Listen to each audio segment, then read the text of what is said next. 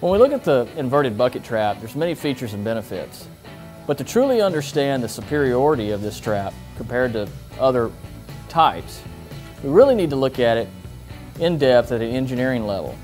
One of the first engineering practices we want to look at is the misnomer of live steam passing through the bucket vent and downstream of the trap into the condensate return line. The bucket vent is sized to only pass one half of the radiant heat loss of the entire surface area of the body of the trap.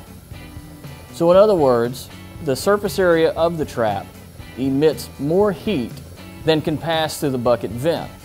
Therefore, any steam that passes through the bucket vent will be condensed in the surrounding liquid. No steam can enter the top of the trap and or be pushed downstream of the trap through the orifice.